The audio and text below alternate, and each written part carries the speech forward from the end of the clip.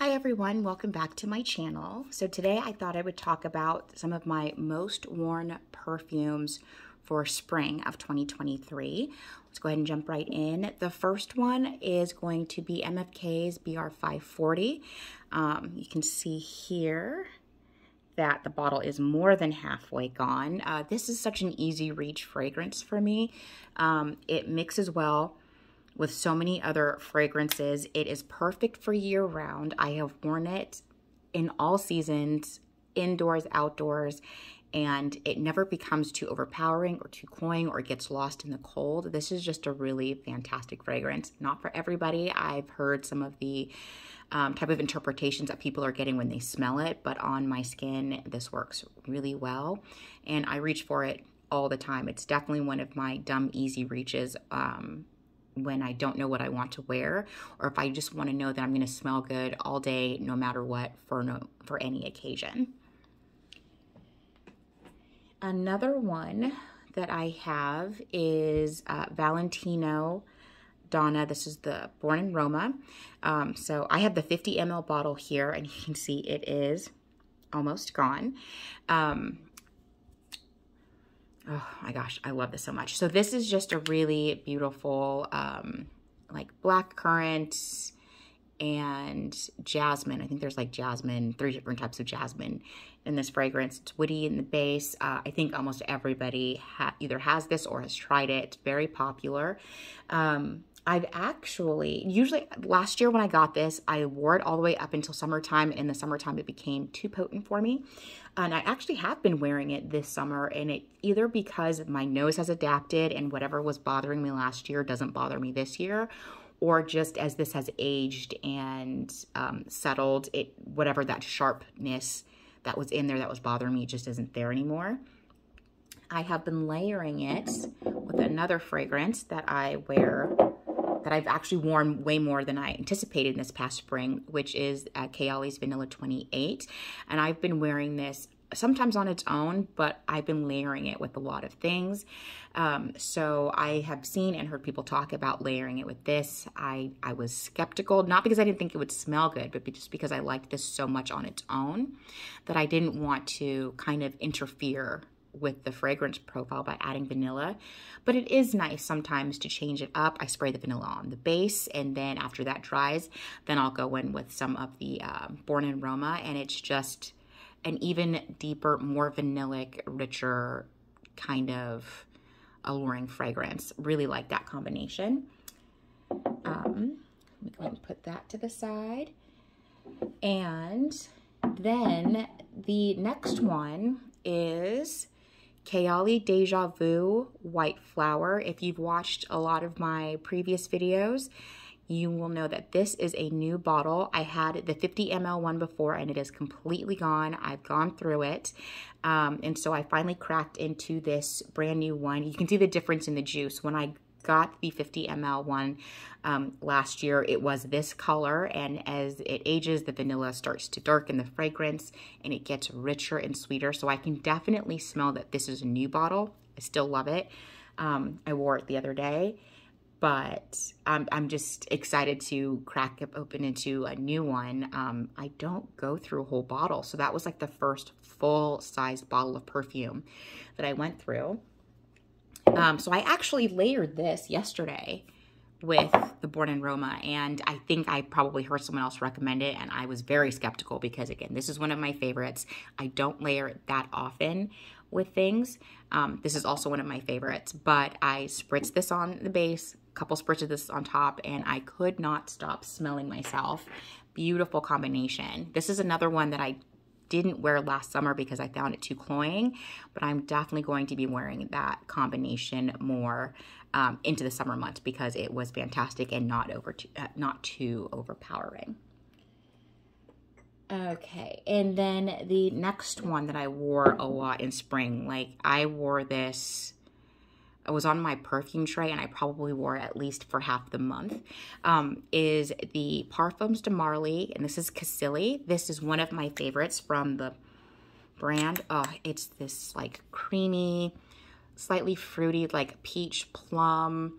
Um, it's a little bit tropical and really creamy vanilla type woody base. It's a beautiful fragrance. I really love it. Very tropical, great for, I think, all seasons. I've worn it year round and I like it year round.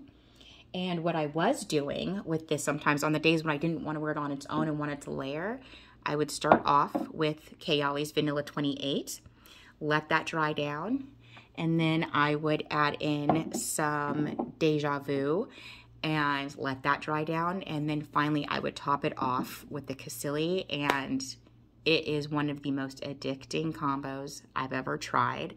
I love wearing these three together so much. I was just radiating fragrance all over all over the place. It's a good thing that most of the time when I wore that, I was by myself. If I was wearing this out and about, I probably would do a couple spritz less of each one, but I wanted to soak in all that yummy goodness. Okay. And then the next two that I have, um, so this is a fragrance that I actually recently bought maybe a couple months ago and had it on my perfume tray for maybe April or May. I can't remember, one of those two months. Um, so I bought a, a travel from Scentbox and went through it in like a week, um, which is rare. It usually takes me a really long time to get through um, like samples like that, but I was wearing it almost every day. I could not get enough. And then I went and bought a not just the full size bottle, but the 200 ml bottle. I found a really good deal on Max Aroma. Um, and so I've also put a little dent in that considering that I've only had it for a couple of months and I went through an 8 ml travel before. This is a beautiful uh, sheep floral fragrance and it smells so good. It just smells like elegance. It smells classy, very feminine, sweet, um, floral. I don't, I don't even know, remember all the notes that are in here, but I definitely recommend if you can get a sample of it to get your nose on it. This says quickly shot up to being one of my top 10 favorite perfumes in my entire collection. And the bottle is gorgeous. I love rose gold. The rose gold accent and the juice in here is just wonderful. I love this fragrance. Um, and I wore it again the other day.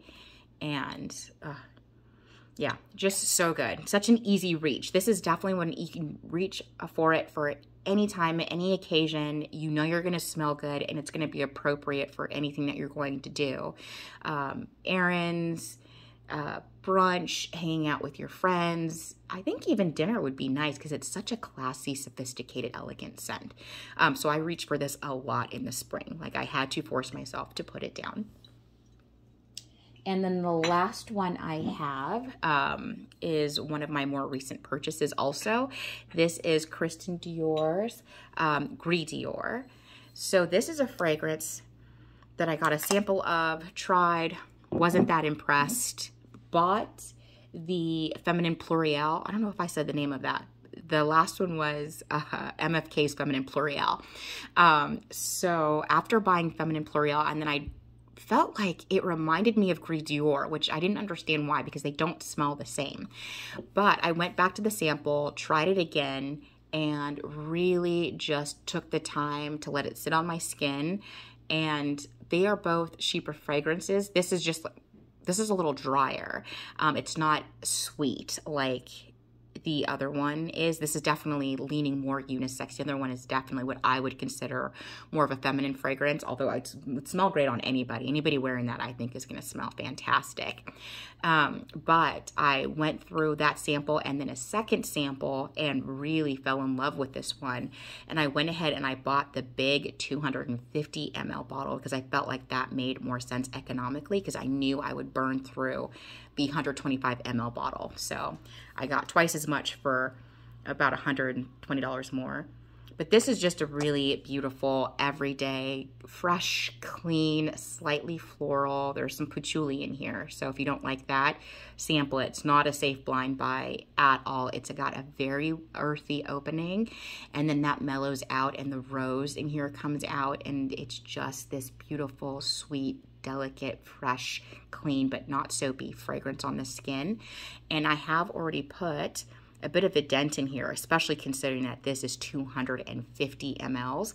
Um, I'm hoping this will last me for a long time. This is also another one that I had to force myself to stop reaching for because I was spritzing it on every day when I first got it. Get up, get ready for work, spritz this on, and I wasn't paying enough attention to the other fragrances in my collection. Okay, so here are my most worn fragrances for spring of 2023. Please tell me below um, what you've been wearing a lot this spring and any recommendations you might have for me. Um, I'm always looking to sample new things. I've gotten some really great recommendations from people in the comments below that I've gotten my nose on and will be adding to my collection soon. Other than that, that's all I have for you. Thank you so much for watching. Please like and subscribe, and I'll talk to you in